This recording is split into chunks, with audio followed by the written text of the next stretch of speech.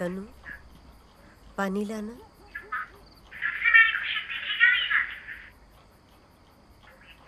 तनु? कुछ कहा माँ? पानी लाना। लाते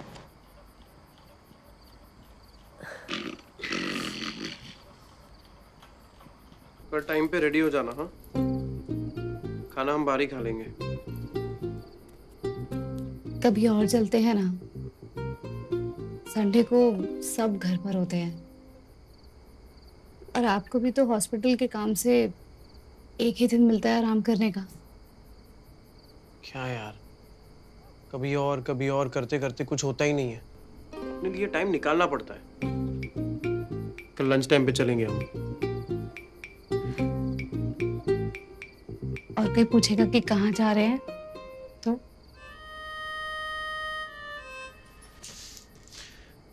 वो तुम मुझ पे छोड़ दो। अच्छा जी। देखते हैं। तनु।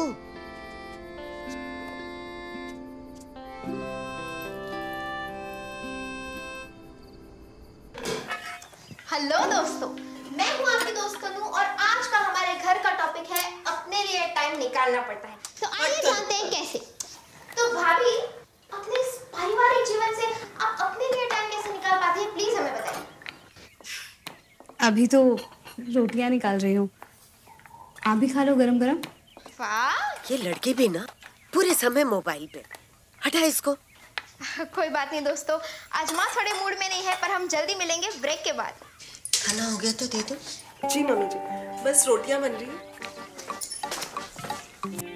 हाँ और? हो गए रेडी निकाल लिया टाइम जाने की तैयारी।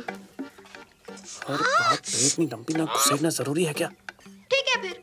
मुझे क्या है बात बताओ अपना सीक्रेट पर कुछ तो पक रहा है। कहीं जा रहे हो क्या? कहीं जा रही हो क्या? बस माँ पास में ही। और खाना? आके खा लूँगा ना माँ। की खाता हूँ? मतलब कुछ बताया भी नहीं। क्या कर रही हो? तो जल्दी रेडी हो जाओ जाना है ना? कहीं घूमने जाने का प्लान है क्या? नहीं भाभी बस थोड़ी देर में आ जाएँगे। थोड़ा सा खा लेते इतनी मेहनत से बनाया। अच्छा। जाओ जाओ जल्दी जाओ। ये कम से कम तुम्हें बाहर घुमाने तो लेके जाता है। हमारे वाले तो बस पूरा दिन खर्चा ही जोड़ते रहते हैं। अब जा भी। टमाटर अमरूद। आम के मौसम में अमरूद खाओगे तो खर्चा कम कैसे होगा? सीजनल फल लाया करो। अरे सब लोग आपके हिसाब से ही खाना पीना करेंगे क्या? प्रकाश तुम खाना खाओ ठंडा हो जाएगा। तुम्हारे पापा को तो सुध ही नहीं रहती। जब देखो पैसा पैसा पैसा। तुम्हें कितनी बार कहा? जब मैं हिसाब किया करूँ मुझे डिस्टर्ब मत किया करो। पिछली बार के पाँच सौ पचहत्तर का हिसाब वैसे ही नहीं मिला। हम्म, चलो दिखाओ। कल बहुत दिनों बाद प्रमिला आई थी प्रवचन में। अच्छा। बेचारी जब से उसके बहू को कैंसर हुआ है घर के सारे काम उसे ही संभालने पड़ रहे हैं इस उम्र में भी। बहुत बुरा हुआ। देखो तो आजकल जवान लोगों को भी कैंसर हो रहा है। पर एक बात है अस्पताल बहुत अच्छा है। अच्छी हो रही है धीरे धीरे बाबा की कृपा से। मनीष बेटा हमें घर छोड़ाओगे मैं छोड़ देता आंटी पर मुझे कहीं जाना है। थोड़ा लेट हो रहा है। अरे ऐसा क्या लेट हो रहा है?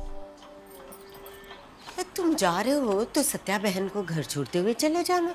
हाँ माँ पर मुझे वो दूसरी जगह जाना है ना तो लेट हो जाएगा।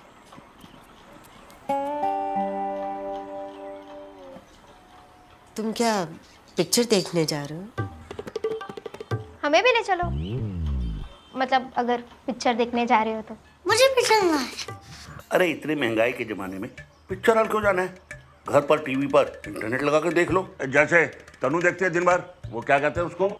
ओ टी टी वाह। पिक्चर देखने नहीं जा रहे हैं पापा हम। तो शॉपिंग भाभी। एक्चुअली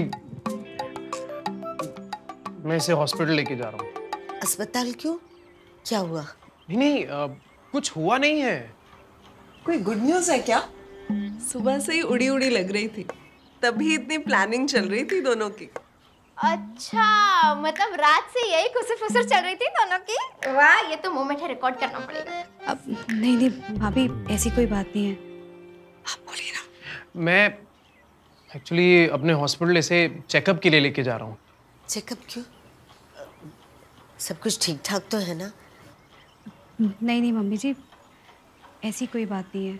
देखो बेटा अब ये भी तुम्हारा घर है। कोई भी परेशानी हो तो तुम हमें खुल के बता सकती हो हाँ?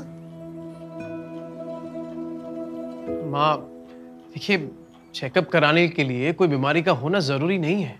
कुछ टेस्ट ऐसे होते हैं जिससे कि शरीर के बारे में पता लगे ताकि आगे चल के कोई बीमारी ना हो।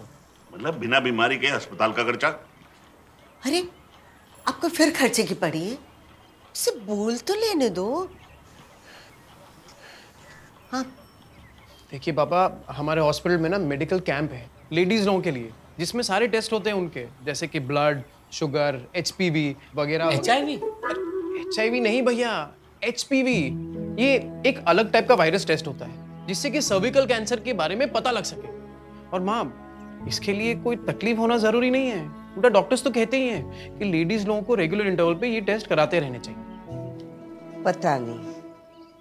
प्रमिला के बहू का ये टेस्ट हुआ होता तो उसके कैंसर का जल्दी पता चल जाता। और इसके लिए तुम लोग चोरी छुपे जा रहे थे? ये तो कितना अच्छा काम है। हमारे समय में तो ये सब होता ही नहीं था। कुछ सीखिए इनसे। हम कब जाएँगे टेस्ट करवाने? आ, कब जाएँगे? मैं क्या बोलूँ इसमें? अ, मैंने तुम्हें कब मना किया है? जब तुम बोलोगी तब हम चलेंगे। अगर आज ही सब चल लेते तो अच्छा होता ना। सब? हाँ मम्मी जी मैं भाभी आप? मैं अरे मैं क्या करूँगी इस उम्र में जाके? मुझे क्या ज़रूरत है? नहीं। अरे माँ डॉक्टर जी कहते हैं कि एक उम्र के बाद सबको ये टेस्ट कराना चाहिए।